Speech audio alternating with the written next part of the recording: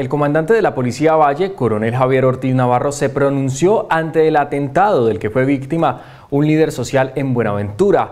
El oficial aseguró que se adelantan las pesquisas con un grupo especial de la Policía Judicial en el puerto. Se presenta este hecho donde se le generan heridas a esta persona que en su momento hizo parte del paro cívico en Buenaventura, por esta razón y no obstante a ello, la Policía Nacional activa los protocolos establecidos para la atención de este caso. Estamos garantizando su seguridad en el centro asistencial donde se encuentra en recuperación. Hasta el momento está estable, con una buena evolución satisfactoria. Eh, estamos trabajando y valorando diferentes hipótesis para determinar cuáles fueron las motivaciones que generaron esta acción delincuencial.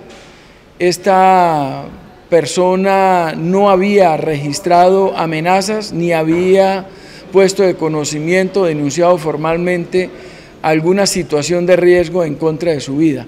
Sin embargo, vamos a establecer las responsabilidades de este hecho en el marco de la investigación y de los actos urgentes.